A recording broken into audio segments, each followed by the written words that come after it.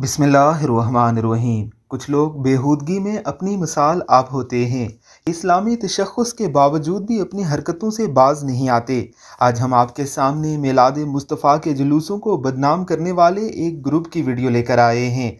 ये लोग भी मिलाद बना रहे हैं। लेकिन ये किस तर्ज पर मिलाद बना रहे हैं, ये आप इस वीडियो में देख लीजिए। तकरीबन पूरे पाकिस्तान में ही ऐसे जुलूसों और ऐसे प्रोग्रामों की वजह से मिलाद मुस्तफ़ा को बदनाम किया गया।